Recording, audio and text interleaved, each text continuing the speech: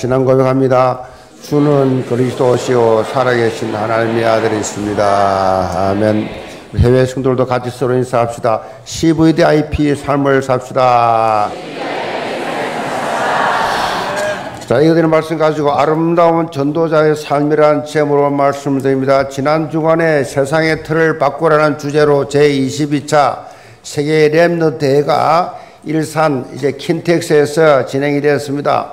전 세계 70여 어, 국가에서 2만여 명이 넘는 랩런트와 이제 성도들이 함께 세상의 틀을 바꾸는 그런 어, 랩런트가 일어나도록 이 언약을 붙잡고 그렇게 어, 서로 원리스의 축복을 누리는 시간표였습니다. 우리 교회 수도 천여 명 이상이 그렇게 랩런트들과 함께 참여를 하고 해외에서도 그렇게 아주 어, 많은 우리 선교사님들과 랩런트들이 와서 함께 참여하고 2부 예배 때 다 참여해서 인사를 다 했습니다. 선포된 메시지 핵심이 뭐냐? CVDIP 언약 24. 이게 키예요. CVDIP 언약 24의 여정을 그렇게 가자. CVDIP 언약 여정 24를 정말 체험하고 믿고 누리고 증거하는 그런 삶이다. CVDIP가 뭐냐? 어른들은 아따 발음하기도 힘들다. 무슨 교회가 그렇게 어려운 말을 쓰냐 이렇게 말을 할 수가 있는데 우리 중학생들도 그래요. 제게 편지 보냈어요. 목사님 CVDIP가 잘 안 돼요. 그래요. 잘 안 돼요. CVDIP를 어렵게 생각하지 마세요. CVDIP가 뭐냐? 언약, 약속의 약속, 하나님 말씀, 카보난트, 언약, 하나님의 말씀, 여러분 듣고 있잖아요. 늘 예배 드리잖아요. 그 말씀, 성경에 있잖아요. 이 말씀 중에서 내게 부딪히는 레마의 말씀을 잡고 그것을 늘 이 성취되도록 그 비전을 가지고 그 계속해서 여러분 뭐될 거는 꿈을 꾸잖아요. 그렇게 늘 비전을 가지고 꿈을 꾸고 이미지화해서 실현하자. 간단하게 하면 은혜 받은 말씀을 실제로 체험하자. 그런 뜻이에요. 그러니까 어렵게 생각하지 말고 구체적으로 그냥 종교생활 하지 말고 막연하게 왜 용어들을 이렇게 자꾸 주느냐. 그리스도로 끝나야 되는데 안 되니까 자꾸 그렇게 이 그리스도를 통하여 말씀을 통하여 완전히 해답을 찾고 정인의 삶을 살게 하는 그러한 방법일 뿐이에요. 뭐 새로운 게 아니라고요. 그러니까 CVIP 이, 이 말씀, 이 언약, 이 삶이, 이 언약이 나의 여정이 돼야 돼. 내 여정 속, 내 삶 속 이것이 하나하나 성취되는 이 맛을 24시 누리자. 그런 말씀이에요. 그러니까, 어, 어, 무슨 기반으로 이것이 되어지느냐? 사도행 1장 1절, 3절, 8절이에요. 이 언약적 비전. 이것이 24 되어지면 나, 어떻게 되느냐? 나를 넘어서게 돼. 이게 신앙생활이에요. 하나님을 체험하게 돼요. 나를 넘어서는 게 25시, 25시가 없잖아요. 하나님이 시간표. 그리고 영원이라고 하는 이런 응답을 받게 된다. 237 나라 살리는 힘이 우리가 어디에 있어요? 없어요. 근데 하나님이 힘을 주시는데 언약 잡고 언약 속, 이장 속에 나가면 하나님 이걸 우리를 통해 성취해 주신다. 조금 전에도 우리 캄차카에서 온 우리 성 목사님 내외와 또 같이 온 그 자녀들과 랩너들 같이 막 잠깐 그렇게 이브에 맞추고 잠깐 조금 전에 찬양했는데 우리 교회가 무슨 캄차카까지 갑니까? 캄차카까지. 근데 하나님이 이상하게 캄차카까지 인도했어요. 그 제가 캄차카 갔다 왔어요. 캄차카 어딘지 잘 모르죠? 러시아입니다, 러시아.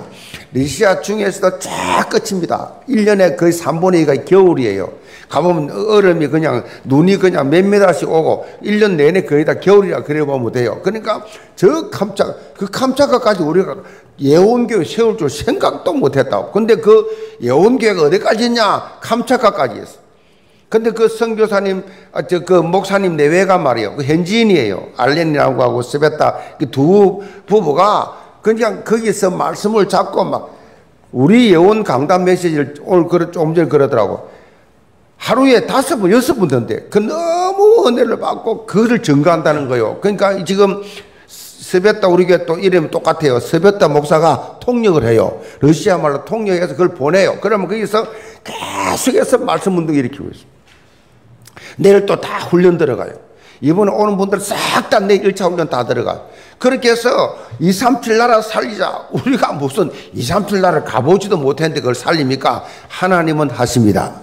그러니까 여러분이요, 우리 여운교회가 무슨 한국 강서구시면서 깜짝까지 교회를 세웁니까? 세울래 했습니까? 세워질 수밖에 없도록 만드셨다고.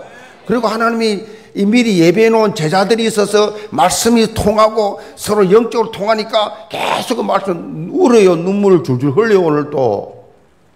여러분 아무 감동도 없지만 그분들은 말씀 듣는 것이 너무 좋아서 눈물을 흘려 너무 감동돼. 어떻게 예언교회를 만나서 이 예언교회가 우리를 이렇게 어, 위해서 기도해주고 이렇게 협력해주고 이렇게 할 수가 있냐? 감동이 돼가지고.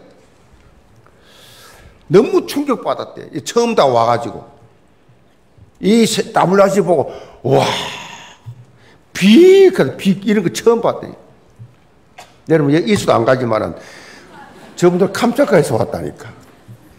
여기 있으면서도 안 가. 훈련도 안 가. 이분들은 이 해외에서 온 분들은 이 훈련 받겠다고 그 비싼 돈 들여가지고 와가지고 지금 내일 또 덕평메트 가서 훈련 받고 훈련 받겠다고 소원이 훈련 받는 거야 한국 와서.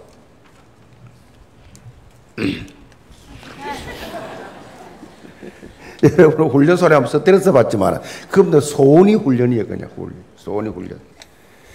그래서 237 나라 자기가 살고 있는 땅에 자기 민족 살릴 수 있는 힘을 하나님이 주신다. 하나님의 말씀이요. 이 영혼 속에 각인돼 돼. 그래서 훈련받는 거예요. 한 번 들어가 잘하는데 각인, 각인. 응? 각인, 각인이라는 뮤지컬이 있어요. 오늘 제가 끝나면 이제 우리 장로님들하고 보러 갈 건데 각인, 각인이라는 뮤지컬. 각인, 딱 우리 이렇게 가족들이 하는 거잖아요. 정말로 보좌의 능력을 여러분 체험하는 하나님의 능력을 체험하는 사람은 어떤 사람이냐? 증인된 삶을 사는 사람들이요. 이 증인된 삶을 사는 사람. 세상의 틀을 바꾸는 주역으로 서게 하신다. 영계 모든 성도를요 아무도 말할 수 없고 아무도 갈 수 없는 nobody no way 그 현장에서 불신자 살리는 정인으로 여러분 설 수 있기를 바랍니다. 자, 오늘 본문에 보면 사도 바울이 이런 복음을 전가하는 전도자의 삶이 얼마나 아름다운고 그걸 밝히고 있습니다. 복음을 증가하는 전도자를 보고 아름답다. 사도 바울이 참 독특하게 전도자의 삶과 아름다움을 맺히시겠어요. 그런데 이 말씀은요, 원래 이사야 선지자가 먼저 선포한 말씀이에요. 이사야 52장 7절에 보면 좋은 소식을 전하며 평화를 공포하며 복된 좋은 소식을 가져오며 구원을 공포하며 시온을 향하여 이르기를 너 하나님이 통치하신다 하는 자의 산을 넘는 발이 어찌 아름다운고 복음을 증거한 자가 발이 아름답다 한마디로 좋은 소식을 전한 성도들의 발걸음 아름답다 제가 이렇게 예, 저도요 이렇게 보면요 이 어쩌다가 한 번씩 볼 때 있어요. 막 복음을 증거하는 우리 성도를 볼 수 있어요. 복음을 증거하는 자를 보면요. 내가 본 중에 제일 아름답고 흡족해요. 야, 정말 멋있다. 복음을 증거하는 자의 발걸음이 아름답다. 그렇게 오늘 본문에 그렇게 표현하고 있어요. 사실 우리 신체 중에서 가장 찬밥 신체가 뭐예요? 발, 발이에요, 발. 이 발. 발인데 이 발은요, 그렇게 찬밥 신세를 받아야 할 그런 부위가 아니잖아요. 눈이 잘 안 보인다고. 또 냄새 난다고. 근데 실제적으로 그야말로 이 우리의 삶을 가장 활력 있게 만들어 주는 것이 실제로 발이에요. 발로 걸어 다니고, 발로 뛰어 다니고, 발이 없으면요, 우리 활동이 아주 제한을 많이 받아요. 그런데 발 냄새 난다고 찬밥 신세가 된다.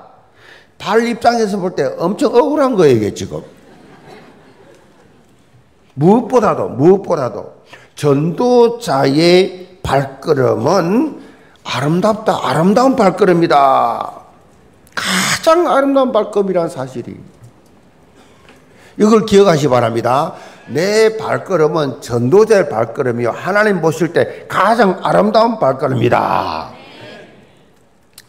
어, 특별히 이 발걸음 하면요, 방향성을 말하고 있죠. 어디로 가느냐?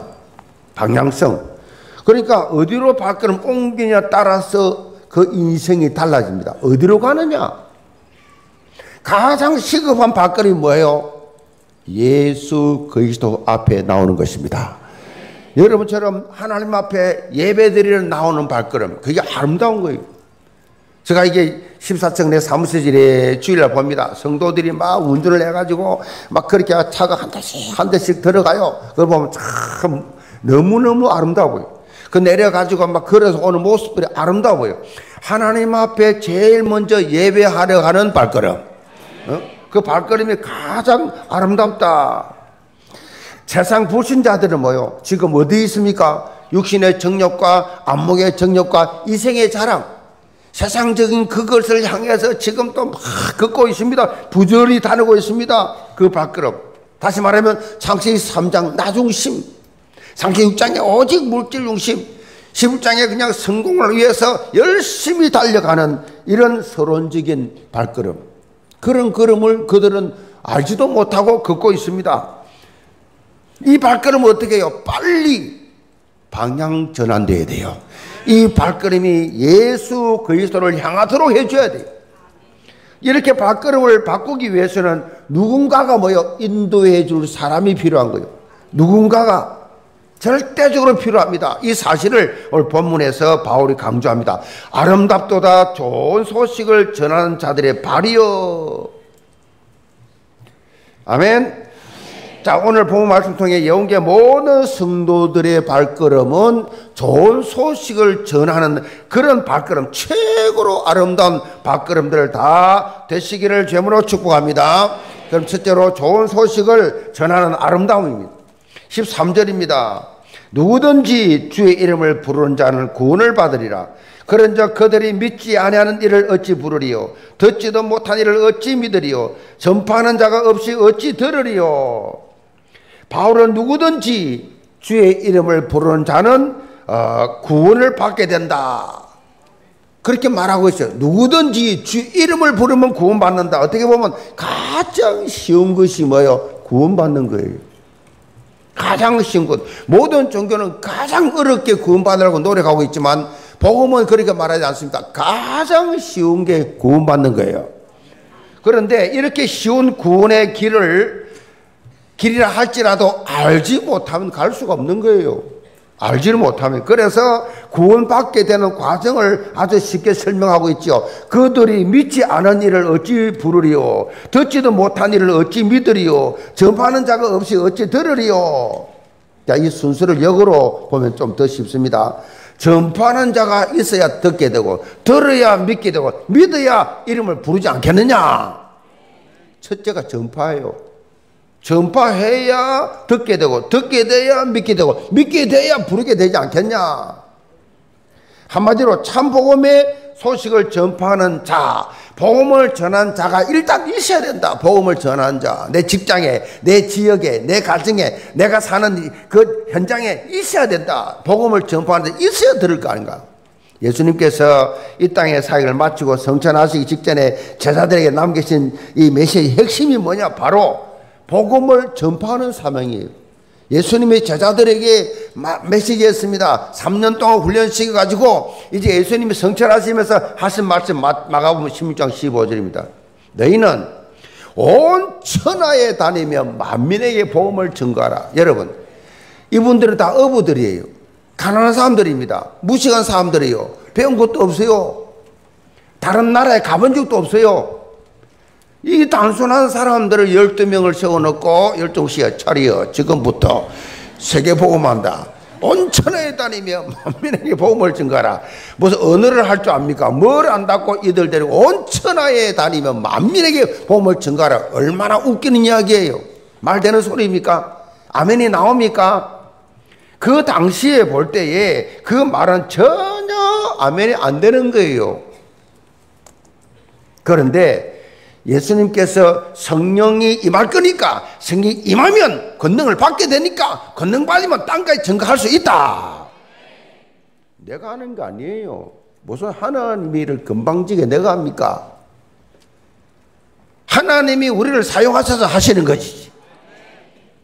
그리고 복음을 증가하는 그 현장에 가게 되면 너희들이 가는 곳마다 흑암이 꺾이고 어둠이 물러가고 하나님 나라가 임하게 된다. 그걸 밝히고 있습니다. 마가복음 16장 20절에는 실제로 제자들이 두루다니며 복음을 전파할 때 주께서 함께 하심으로 막 역사가 일어났어요. 무슨 베드로가 안전병을 일으킵니까? 이렇게 본 적도 없어요. 2장에서 예수님께서 약속하신 성령이 임하니까 1장에 성천하시고 2장에 임하니까 3장에 그냥 나가서 나가 늘 보던 안전병이요. 40 나이 40살쯤 됐는데 날 때부터 안전병이요. 늘 보던 성전 미문에 구걸하던 자요. 그날따라 감동이 와서 나사렛 예수 이름을 명한 일어나 걸어라 일어나 벌쩍 걸어 그는 뛰었네 걸었네 찬양했네 찬양하면 성전에 들어갔어요. 여러분 베드로라는 사람이 무슨 준비해서 합니까? 그냥 성령의 감동으로 그냥 순종 말씀하니까 역사가 일어난 거예요. 실제로 역사가 났어요. 여러분, 신앙생활 하면서 이 복음을 증거하는 증거를 통해서 하나님 역사를 한번 체험해 보시기 바랍니다. 지금 세상 현장에는요, 유리 방어하는 영혼들이 꽉 찼어요. 여러분요, 솔직히 직장 다니면서 사업하면서 여러분 살아가면서 일주일 내내 불신자 만나잖아요. 불신자 여러분, 저는 어쩔 수 없이 뭐 교육자들, 맨날 목사들 뭐 이렇게 같이 만나지만 여러분은 평신도를 세상 사니까 세상 속 전부 불신자. 보고 만날 때 뭐라고 말하지 않습니까? 불신자 보면 노는 입에 예수 믿으라고 말합니까? 아멘 또 있네. 그 일주일 내내 전 불신자들 만나는데 그냥 패스와 패스 패스입니까? 내 유익을 위해서 내 목적을 달성하고 끝내버립니까? 전혀 그 영혼에 대해서 아무 관심 없습니까? 그 영혼들 말은 안 해요. 자존심이 있어 말하는데 얼마나 시달리고, 얼마나 갈등하고, 얼마나 방하고, 얼마나 죽고 싶고, 우울증, 정신병, 얼마나 많은지 아십니까? 끝으로는 자존심이 표현 안 합니다. 내면에 들어가 보시라고요. 얼마나 어려운 유리 방어, 유리 방어한다 그래서 예수님 표현이. 유리 방어하는 영혼들이 꽉 찼다. 마가복음, 마태복음 9장 35절 36절에 보면 예수님께서 이렇게 단식하십니다. 예수께서 모든 도시와 마을에 두루 다니사 그들의 회당에서 가르치시며 천국 복음을 전파하시며 모든 병과 약한 것을 고치시니라. 물을 보시고 불쌍히 여기시니 이는 그들이 목 잡는 양같이 고생하며 기진함이라. 예수님이 복음을 전하면서도 약자를 약한 자를 고치고 병든 자를 치유하시면서도 너무너무 많으니까. 너무너무 많으니까. 목 잡는 양같이. 양이 목 잡으면 어떻게 돼요? 뭐 각자 노는 각자. 언제 죽을지 몰라. 언제 잡혀 먹을지 몰라. 목 잡는 양같이 유리 방어하는 그들을 보면서 안타까워합니다. 뭐라고 표현했어요? 기진함이라. 지금 불신자들은요 기신 상태에 있어요 여러분이 하나님 앞에 예배 드리면서 새로운 힘을 얻고 새로운 능력을 받고 새로운 그런 소망을 가지지만 불순자들은 아무것도 없어요. 그냥. 기진함이라. 예수님 말씀이에요. 지금 장세기 3년 불지 현장을 여러분 잘 보시기 바랍니다. 이어서 36절로 37절에 보면 이렇게 현장에는 목 잡는 양같이 고생하면서 기진한 영혼들이 무수히 사였는데 뭐라 그랬습니까? 추수할 일꾼이 너무 적다. 추수할 일꾼이 너무 적어. 휘어져 추수하게 됐는데 그 영혼들을 추수해야 되는데 전도사가 없다는 거예요. 그 복음을 말해줄 사람이 없다는 거예요. 그러면서 뭐요? 탄식이죠, 탄식. 복음 가진 일꾼 전도자가 너무 중요하다는 거지요. 15절 보세요. 보내심을 받지 않아야으면 어찌 전파하리요? 기록된 바 아름답도다. 좋은 소식을 전한 자들의 발이여 함과 같으니라. 보내심을 받지 않았으면 어찌 전파하리요? 사도 바울이 전도자의 이 정체성을 밝히고 있습니다. 이런 영적 정체성을 제대로 알고 신앙생활을 하고 있느냐 안 하느냐 이게 따라서 삶의 이 발걸음은 천냥지차예요 그냥 내가 누군가를 몰라 복음 가진 여러분 누군가를 잘 몰라. 따라서 나는 보내심을 받은 자다. 보내심을 받은, 받은 자라는 이 하나님과의 이면 계약이 있는 사람은요, 무서울 게 없어요. 내가 어떻게 보내심을 받았냐? 하나님의 자녀되는 순간에 여러분 만세전에 보내심을 받은 자예요. 여기 무슨 전도자, 성교사, 무슨 뭐 목사가 아니에요. 예수를 믿는 하나님의 자녀는 하나님부터 보내심을 받은 존재예요. 그 하나님을 아버지라고 부르고 구원받은 사람은 다 우리가 바로 천국 가야 되잖아요. 구원받았으면 바로 천국 가야지. 왜 여기 또 있어요? 이 죄악 많은 땅 위에서 피곤한 세상에 왜 여기 또 살게 하시냐고요. 부신자들처럼 무슨 돈 많이 벌어가 잘 먹고 잘 살게 하기 위한 겁니까? 아닙니다. 하나님께서 우리를 구원해 주신 것은 이 땅에서 사명이 때문에 놔둔 거예요. 그러니까 보내심을 받은 거라니까요, 지금 우리가. 한 사람도 빠짐없이 보내심을 받은 자라는 이 영적 정체성을 가지고 여러분이 전도자가 전도의 삶을 살기를 바랍니다. 자, 보내심을 받지 않았으면 우리가 어떻게 복음을 증가하겠냐 말이에요. 그러니까 모든 분들은 보내심을 받은 자, 보냄을 받았다. 이 말이 뭔 뜻이에요? 여기 이면 계약이 있는 거예요. 하나님이 우리를 세상에 보냈다, 보냈다, 이 보냈다. 이것은 뭐요? 하나님이 우리를 책임져 주신다는 얘기예요. 보내심을 받은 자의 삶을 한번 살아보시라고요. 보내심을 받아놓고도 보냄을 받아놓고 보내심을 받은 줄 몰라. 그리고 사는 게 교회는 다니지만 불신자처럼 살아. 모든 게 나 중심 돈이야. 모든 게 자존심 중심이야. 이거 내 기분이야. 내 감정이야. 하나님 없어. 그럼 어디요? 보내심을 받은 자의 삶을 뭐안 살고 있으니까 불신자보다 더 비참하게 사는 거예요. 하나님이 돌봐주는데 이 영적 정착을 놓치고 사니까. 자, 보내심을 받은 자라고 하는 내가 직장 다니면서도 내가 사업을 하면서도 내가 공부를 하면서도 나는 하나님께서 이 학교에 보내심을 받은 자야. 나는 이 직장에 하나님이 내가 월급 먹고 물만 받아가지고 저 불신자들처럼 내가 먹고 살게 온 게 아니라 하나님 내 직장에 보내셔서 아멘. 이 보내심을 받았, 받았다라고 하는 것은요, 하나님이 책임진다는 거예요. 하나님 책임져 주십니다. 그거 아셔야 돼. 그래서 담대히 도전해야 돼. 하나님 날 이 직장에 보냈는데, 하나님 내 이 현장에 보냈는데, 하나님이 이 나라에 보냈는데 자 Remnant 일곱 명 보세요. 히브리 11장의 믿음의 챔피언들 보세요. 하나같이요 열악한 환경이요. 환경이 너무 안 좋았어요.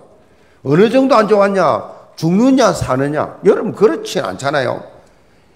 하나님을 믿는다고 죽인다. 우상성도 안 하면 죽인다. 절해라. 절안 하면 저 불구석 집어넣는다. 절해라 안 하면 사자굴 속에 집어넣는다. 이런 굉장한 위기 속에서 이 사람들은 신앙의 정지를 지켰어요. 여러분 우리 신앙생활 하는 너무 화려해요. 이 얼마 전만 해도요. 저 일본 놈들이 우리나라를 이거 다 침략했을 때는 예수님 다 죽였어요. 다 집어 넣었어요. 저 김일성이 내려왔을 때 다 죽였다니까. 제일 먼저 죽이는 게 교회예요, 교회. 교회입니다. 제일 먼저 박해하는 게 예수님. 예수님 사람들이 무슨 정치를 합니까? 뭘 한다고? 영적 문제입니다. 먼저 치고 죽이는 거예요. 예수 믿으면 지금 또 북한을 사람 죽여요. 그러니까 이 예수를 믿으면 죽인다는 이런 위기 속에서 이들은 극한 환경 속에서 모두 다, 다 그 문제에 승리했어요. 뛰어넘어서 죽지 않았어요. 도리어 성공했어요. 그 어려운 그 환경들을 다 무슨 말입니까?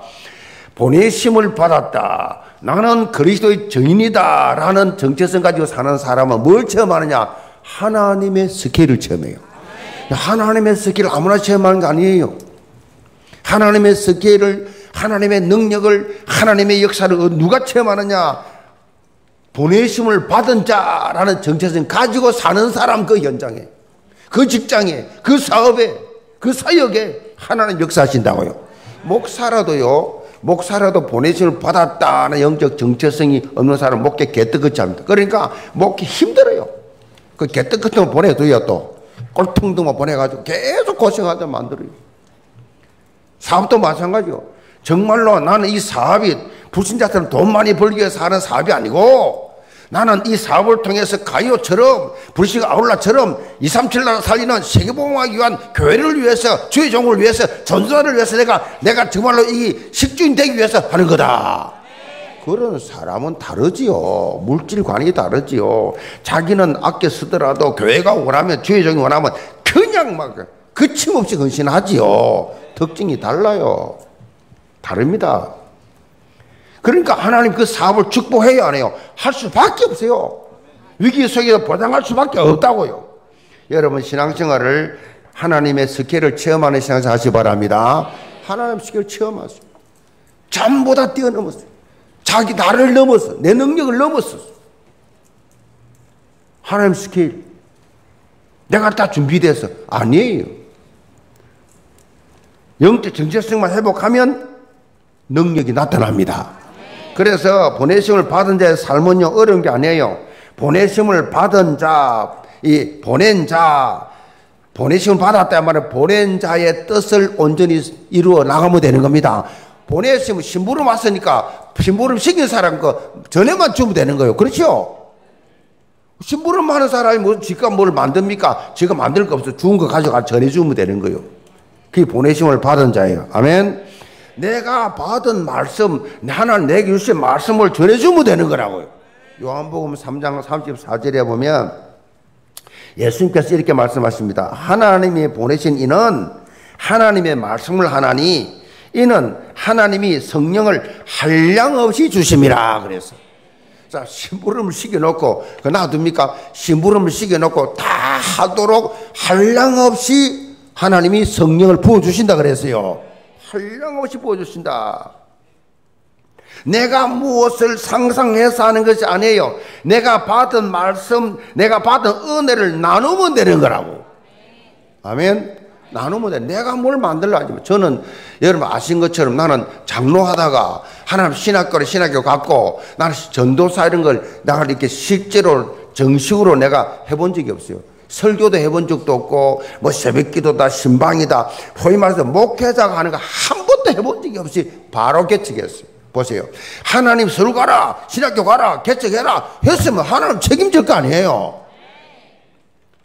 그걸 내가 이 총신 80일에 800여 명이 어? 총신 사당도 총 졸업했는데 그 동기 중에 하나님 목회를 제일 하나님 축복하고 계시잖아요 지금.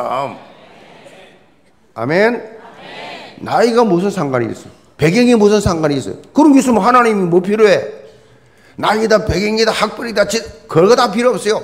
여러분이요, 영적 정체성만 회복하면 하나님의 스케를 체험한다니까요. 하나님께서 보냈으면 그냥 하나님 다 책임져서 해줄 텐데 뭘 내가 머리를 굴립니까? 하나님 주시는 강단 말씀 붙잡으시기 바랍니다. 강단 말씀 붙잡고 사모으로 오늘 주시는 말씀 붙잡고 이것이 체질화되면 독수리 날개치며 새 힘을 주신다고 올라가죠. 독수리 아시죠? 독수리 생동감 넘치는 독수리가 그냥 독수리 됩니까? 독수리가 그냥 태어나자마자 독수리입니까? 아니에요. 독수리도 훈련받아야 돼요. 알을 까면서 독수리는 특별하게 합니다. 독수리는 참 사람의 손이 닿을 수가 없는 사냥꾼도 못하는 저 최고 높은 높은 산 절벽에다가 알을 까요. 알을 까가지고 까가지고 이 이 새끼가 말이야 자라면서 날개가 좀 생기기 시작하면 어머니가 이 어미 어미가 말이야 훈련 시작합니다. 이걸 그냥 밀어버려요. 밀어버려. 그럼 낭 떨어지러 확 떨어지면 이 독수리가 어머니가 미쳤냐고 이러면서 막 살겠다고 막 그냥 막 날개를 치는 거예요. 뭐 조그만 날개 나자마자 그러면 이게 떨어지기 직전에 어미가 탁 받아요. 바다가 또 올라와요. 올라가 또 뒤집어버려요.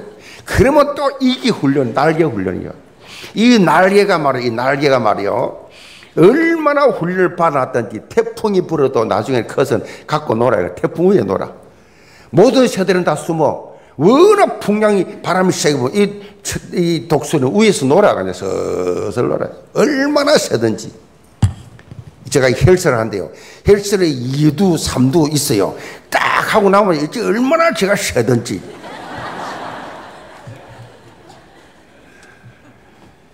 훈련을 받아 독수리가. 그러니까 뭐, 뭐, 얼마나 강합니까? 여러분. 어려움과 고통과 아픔과 눈물과 한숨과 실패와 좌절과 질병과 이런 거 없는 가정 없는 사람 한 명도 없어요. 그 증거가 창세기 3장에 사는 인간은 누구라도 그래요. 어느 가정이든 기도 제목이 있어요. 저 사람 행복하겠다 아니에요. 기도 제목 다 있어요. 그것이 뭐야? 하나님이 여러분을 영적으로 깨어 훈련시키는 과정이라고. 그렇게 여러분 연약함을 알게 해서 아이고 나는 안 되겠다. 나는 주님만 바라봐야 되겠다. 주님께 붙어야 되겠다. 이래야 돼요. 그러면 하나님이 힘을 주십니다. 독수리 만드신다고 독수리. 세계에 쓰임 받은 사람들이요. 세계 복음에 쓰임 받는 그냥 쓰임 받는 아세요? 다 특징이 유광수 목사부터 전부 다 독수리 훈련 받아요. 그 간증 다 못해 하면 기절하고 자빠져. 저는 조금 알아요. 얼마나 독한 훈련을 여러분요 상상을 초월한 그런 어려움을 통해서 하나님의 스케일을 체험한 거예요. 그럼 어떻게 보면 생동력, 생동감 넘치는 역동적인 이러한 어, 힘을 주셔가지고 가는 데마다 어떻게 해요? 현장을 변화시킵니다. 현장을 변화시킵니다. 아, 그래서 여러분이요, 훈련받고 여러분이 여러 가지 문제 다 뛰어넘어서 여러분 정말로 보내심을 받은 자의 삶을 살면 이상하게도 여러분이 맡은 직책, 현장, 전부 변화 일어나기 시작합니다. 사천 말씀 운동하고 있습니다. 그러면 어떻게 해요? 내가 사천 말씀 운동 속에 들어와야죠. 그래서 한 말씀 운동이라도 대상이 누군지 상관없이 내 입에서 복음이 나올 때, 내 입에서 그리스도가 나올 때, 내 입에서 정말 간증이 나올 때, 내 입에서 받은 은혜가 나올 때 성령이 역사하신다고. 그거 아셔야 돼요. 뭐 고스톱 치는데 성령 역사합니까? 아니에요. 하나님의 말씀을 할 때 나오는 거예요. 성령을 어떻게 한량 없이 보여주신다. 이걸 체험해야 돼요. 아이고 저 사람이 어떻게 저 일을 하지? 어떻게 저힘 받지? 너무 선거예요 벌써. 그 사람 세상적인 눈까지 영적인 눈이 없어서 그래요. 내 입에서 어떻게 이런 말이 나올까? 아니, 복음을 증가해서 사천 말씀 운동에 참여해서 한번 해봤더니 어떻게 이런 말이 막 현장 가보세요. 가보면 나도 모르게 말이 막 나와요. 그냥. 놀랄 정도. 내가 나를 보고 놀랄 정도로. 그게 성리 역사예요. 베드로가 앉으면 이렇게 얼마나 놀랬겠어요, 속으로. 우와. 이렇게 세워놓고 지가 놀랄 거예요. 내가 여 귀신 쫓아내고 내가 놀랬다니까요. 진짜 귀신 쫓기 나가겠는데 쫓기 나가는 거 보고 내가 놀랬어. 놀랄 일이 많아요, 현장 가면. 특별히 오늘 본문에 보니까 이 복음을 증거하는 발걸음 뭐요? 가장 아름답다고 강조하고 있어요. 이 복음을 증거하는 발걸음. 본문에서 아름다움이란 뭐요? 여기서 아름다움 그래서 아름답다 그랬는데 이거 히브리 말로 나우람 나우. 여기서 아름답다면 나우인데 나우는 뭐야? 때가 때가 알맞다. 적당하다라는 뜻이에요. 사람이요, 자기가 설 자리가 있고, 자기가 해야 할 역할을 다 할 때, 그 역할을 다 할 때, 가장 아름다운 거예요. 자기 역할을, 직분을 맡은 직분을 참 감당할 때, 그게 아름다운 거예요. 하나님 맡겨준 이 사명을 잘 감당하는 모습이 너무 아름다운 거예요. 다시 말해서, 하나님의 자녀는 전도자의 위치에 서 있고 전도자의 역할을 감당할 때가 가장 아름다운 거예요. 영계 모든 성도들 성경적으로 가장 아름다운 삶, 전도자의 삶 속으로 들어가시기를 집으로 축복합니다. 두 번째로 끝까지 전하는 아름다움입니다. 16절입니다. 그러나 그들이 다 복음을 순종하지 아니하였도다.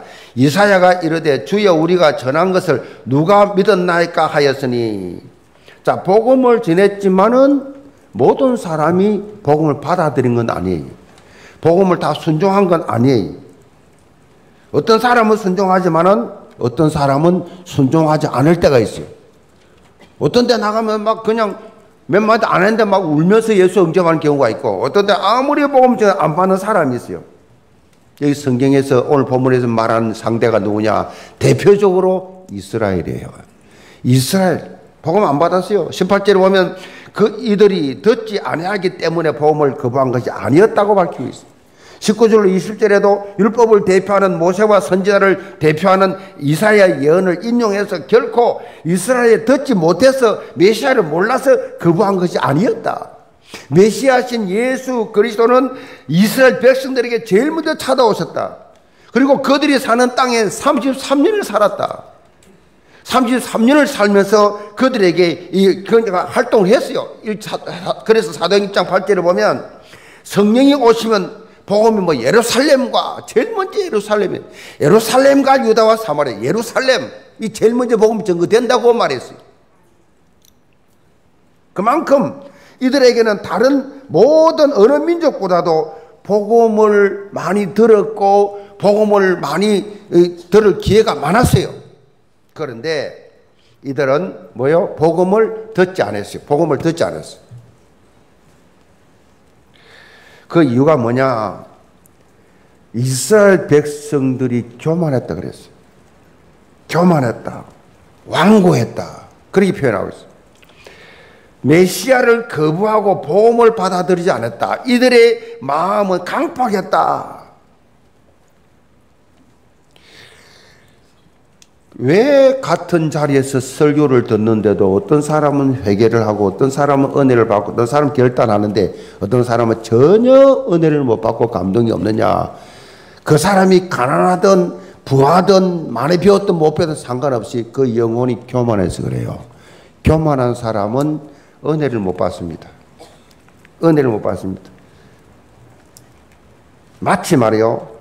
이스라엘 백성들 뭐라 말했냐. 보험 설계사의 몇 마디 말만 듣고 보험 약관을 제대로 읽지도 않고 계약했는데 약간 내용을 잘 지, 이 정확히 이 알아지 못했기 때문에 문제가 발생하면 불이익을 고스란히 당하는 것처럼 이스라엘 백성들이 나름대로 율법을 그렇게 잘 지키고 전통을 지킨다 생각했지만은 그것은 자기들의 자기들의 방법이었지 예수님의 구원 약관을 정확하게 보지 못했어요. 예수님의 구원, 하나님이 어떻게 인류를 구원하겠다는 구원 약관을 못 본 거예요. 17절에 보면 믿음은 들으면서 나며 들으면 그리스도의 말씀으로 말미암다고 밝히고 있습니다. 믿음은 다른 어떤 것을 듣는 것이 아니라 예수 그리스도의 말씀을 듣는 거예요. 예수 그리스도의 말씀, 예, 말씀, 예수 그리스도가 누구예요? 예수 그리스도는요, 사람이 아니에요. 그냥 사람의 형태로 사람의 눈으로 보여주기 위해서 하나님이 육체 오시고 나타나서 뿐이지 그분은 하나님이세요. 그래서 요한복음 1장 1절에 태초에 말씀이 계시니라 말씀이 하나님이시라. 말씀이 예수 그리스도. 그래서 여러분 성경 읽을 때 이 글자로 보면 안 돼요. 예수 그리스도를 봐야 돼 예수 그리스도. 말씀이 예수 그리스도란 말이에요. 이 예수 그리스도를 말씀을 통하여 만나고 그분을 내 주인으로 영접한 그러한 사람은 이제부터 뭐요? 영적으로 어떻게 성장하게 돼요. 예수를 믿는 사람, 예수 생명 있는 사람 특징이 뭐냐? 성장해요, 성장. 자꾸 영적으로 성장해요. 성장하게 돼 있어요. 자, 이스라엘 백성들처럼 백날 율법 가지고 만이 틀리네. 맨 이거 잡고 있다고 해서 구원 있는 게 아니라니. 특별히 본문에서 말하고 있는 이 말씀은 레마입니다, 레마. 여기서 말하는 말씀은 레마예요. 로고스라는 말은 66권 전체가 로고스고 레마가 무슨 뜻이냐? 단순한 문자로 보이는 것이 아니라 내 가슴 속에 직접 부딪혀 나를 변화시키는 말씀. 그게 레마예요. 내 가슴 속에 아 은혜가 되고 말씀이 잡혀요. 하나님의 말씀이 내게 레마로 부딪히게 하여 주옵소서. 말씀을 읽어도 뭐, 이, 뭐 백독 천독 해본 덕 내마 없으면 말장 아무 소용 없어요. 하나님의 말씀이 내게 주시는 그 부딪혀야 내 삶이 어떻게 돼요? 변화가 일어나요. 왜 사람들이 변화가 안 일어나느냐? 말씀을 듣는데도 삶에 변화 없는 이유? 레마. 하나님 말씀, 이 나에게 부딪히는 말씀이 없어서 그래요.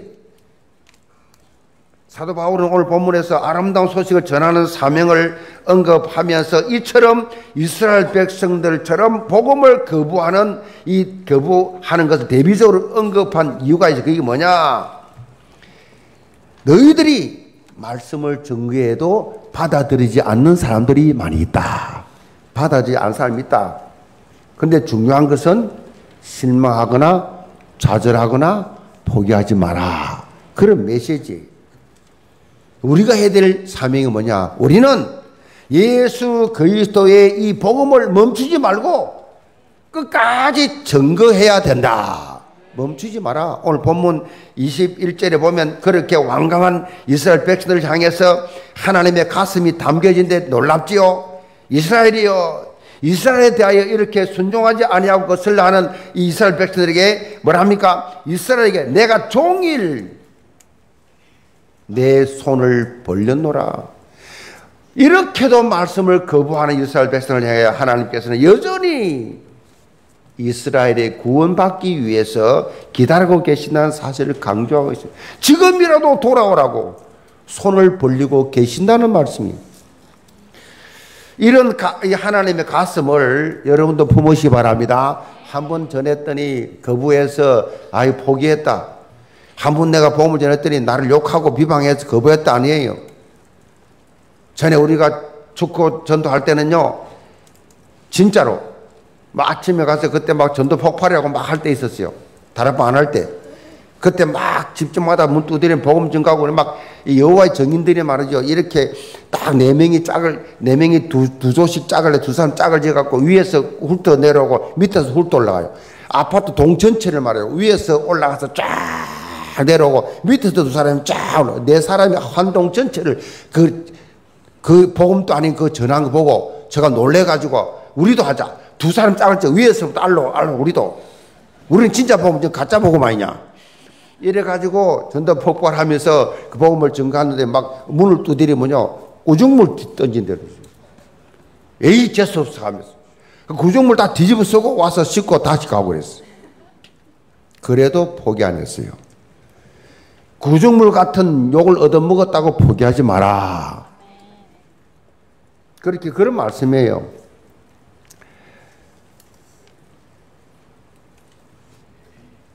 왜 그러냐? 우리가 영원히 떠난 이 유명한 말이 있어요. 성거시대의 말이에요. 우리가 영원히 떠난 육신 앞에 통곡하면서 영원히 떠난 육신 앞에 통곡하면서 무슨 말이에요? 장례식 가면 그렇잖아요. 영원히 떠나버렸잖아요. 육신 앞에 울고 있잖아요. 영원히 떠난 육신 앞에 울고 있음 통곡하면서 하나님 떠난 영혼 앞 영혼을 보고는 통곡하지 않는다 그랬어요. 하나님 떠난 영혼이 누가요? 멀쩡히 살아 있는데 가족이 멀쩡히 살아 있는데 그 불신자는 뭐요? 불신 가족은 영혼이 떠난 사람이에요. 영혼이 떠난 육신을 보고 그렇게 어 이 이 울며 울면서 하나님 떠난 영혼 보고는 아무렇지도 않아요. 어거스틴의 질문이에요. 하나님 떠난 영혼, 불신 영혼 보고 왜 울지 않느냐. 영계성도 여러분, 이런 영적 가슴을 한번 가져보시기 바랍니다. 아이고, 목사님, 나는 내 문제도 너무 많아가지고 지금 내 문제 너무 많은데 무슨 다른 사람이까지 그렇습니까? 그 문제 죽을 때까지 올 거예요. 여러분 지금 지고 있는 짐을 내려놓고 씻거든 말씀에 순종하시 바랍니다. 말씀에 순종했더니 거물이 찢어져. 아시겠어요? 밤새도록 해도 고기 한 마리 못 잡았는데 예수님이 깊은 데가 거물 던져봐라. 거물이 찢어지도록. 그때 베드로가 아 이분은 사람이 아니구나. 그래서 제자 된 거요. 처음 한 거요. 여러분 모든 어려운 문제 다 여러분 그 밤새도록 한거 반평생을 사람의 고통스러운 것 여러분 말씀에 순종하면 다 무너집니다. 다 해결될 줄 믿으시 바랍니다. 그래서 이래 영적 가슴 가지고 끝까지 좋은 소식을 내가 증거하는 전도자가 되겠다고 결단하는 시간 되기를 제문으로 축복합니다. 결론입니다. 지하철에서 한 부부가 이렇게 대화를 나누고 있었어요. 그 아내가 남편에게 뭐라고 말하냐니까 그 기업은행 그 TV 광고 있잖아. 그 기업은행 TV 광고 그거 들어보면 기업은행에 예금하면 기업이 산대. 그 사기 아니야 그랬어요. 그러니까 남편이 그렇네. 기업은행 예금, 예금 한다고 기업이 사냐? 그러면 국민은행 예금하면 국민이 살겠네? 한국은행 예금하면 한국이 살겠네? 그렇게 남편이 이야기를 하니까 아내가 그랬어요. 아이고, 나 우리 모두 다 살게. 나는 우리 은행 가서 저금해야 된다. 우리 교회가 우리 은행하고 그리 하고 있어요. 어, 은행 이야기 하려 하는 게 아니고, 우리 모두가 잘 살게 이 말이, 이 말을 하려고 했어요. 우리 모두가 잘 살게. 나 혼자만 복음받고 구원받고 잘 사는 것이 아니라 우리 모두가 복음받고 잘 살자 그 말이에요. 디모데전서 2장 4절에 보면 하나님은 모든 사람이 구원을 받으며 진리를 아는데 이르기를 원하시느니라 그랬어요. 우리 모두가 구원받음. 우리 직장에 다니는 모든 동료들이 구원받음. 우리 가정의 모든 불신자들이 다 구원받음. 내가 사는 이 지역의 모든 사람들 다 구원받고 내가 살는 내 민족이 구원받기를 바라는 구원받으면 성인도 받지 않겠어요? 지금 이 나라 꼴이 뭐예요? 이게 무슨 동네 북도 아니고 말이요. 안 들어도 러시아 병기가 오고 중국, 중국 저거 뭐 수시로 갔다 왔다 갔다 하고 북한은 계속 공갈 치고 있고 가까운 일본마저도 그야말로 버리고 미국도 외면하고 잘하고 있다. 육신적으로 볼 때요. 이런 바보 덩신 쪼다 같은 정치가 없어요. 그러나 이 나라는 절대 망하지 않습니다. 이 나라에 세계 복음화라고 하나님이 이 하나님께서 이 복음을 주었기 때문에 그래요. 전 세계가 지금 교회 문을 닫고 있습니다. 근데 우리는 지금 2, 3, 7 나라 살리자고 떨고 있습니다. 어디가 살립니까? 막연한 말입니까? WRC 3세가 분들 알 거예요. 아, 가능성이 있구나. 1천만 자다 일어나서 2, 3, 7 나라 살릴 수 있겠구나. 가능성을 본 거예요. 하나님은 이 운동 때문에 이 나라를 절대 망하게 하지 않을 줄로 믿습니다. 이 복음이 운동이 얼마나 소중한지 알아야 돼요. 우리 집 사람이 초창기 다락방 하면서 그랬어요. 그때 올라 집회 했을 때요. 매주 올라 집회, 월요일, 화요일 집회. 주일 되면 저는 부산에 비행기 타고 마지막 비행기 타고 내려갑니다. 하루 종일 설교하고 부산 비행기 타고 내려가서 그 훈련 받고 밤 11시 올라옵니다. 기차 타고 밤새 올라옵니다. 10년을 해요, 10년. 그집 사람이 그러더라고요. 주광수 목사가 만약에 미국에 태어났으면 우리가 미국 맨날 갈 판인데 한국에 태어나서 감사하다 그러더라고. 그렇지 않아요? 아니 시대 살릴 메시지와 전략과 전도자가 미국에서 미국 가야 되잖아. 우리가 미국 사람도 우리 한국에 오고 있잖아요 지금. 이번에 미국에서 많이 왔어요. 이 훈련 이 이, 여기 참석하려고. 아니 우리가 미국 가야 될 판이요. 그 유목사님 한국 태어나서 한국에 가까이 얼마나 좋아 음. 감사합니까? 이 복음의 소중성을 안다는 거지요. 이 운동의 소중함을 안다는 거지요. 이 복음이 얼마나 소중한데 우리 모두 다 살아날 수 있도록 디모데후서 4장 2절에 너는 말씀을 전파하라 때를 어떤지 못 어떤지 항상 힘써라 항상 강조했습니다. 영국의 목사요 작가인 찰스 킹절리가 이런 말을 했습니다. 말씀의 씨를 뿌리는 자는 결코 멸망치 않는다. 그대가 이 세상을 떠난 후에라도 그 씨가 풍족히 열매 맺을 것이다. 아멘. 여러분이 복음을 증거했는데 아무 증거 안 나타나고 떠났다 할지라도 하나님은 그 여러분 발걸음을 축복하시고 열매 맺게 하신다. 예수님이 같이 이제 2000년, 2000년 동안 지금 전 세계 복음이 전거되고 있잖아요. 여러분요, 우리 어머니가 세상 살, 살때 계속 기도하시고, 그게 다 응답되고 있다니까. 절대로 기도와 전도는 헛되지 않는다. 열매를 맺게 되게 할 것이다 라는 증거예요. 우리가 가장 아름다운 소식. 예수 그리스도의 십자가 대속과 부활. 이 놀라운 진리의 말씀, 이 복음, 이 복음을 여러분 증거하시 바랍니다. 그러면 창시 3장에 빠져나와요. 그러면 여러분의 모든 불신자 연습까지 저주에서 빠져나와요. 영적 문제, 정신 문제, 육신 문제, 생활 문제, 모든 문제 해결돼요. 가장 기쁜 소식을 전하는 발걸음 되시기를 바랍니다. 우리 영계 모든 성도를 다른 어느 누구보다도 정말 용어 살리는 최고의 발걸음이 되어져서 가장 아름답고 가장 멋있는 그래서 정말로 하나님이 가장 기뻐하는 보시기에 좋았더라. 그런 전도의 삶을 사시기를 제물로 축복합니다.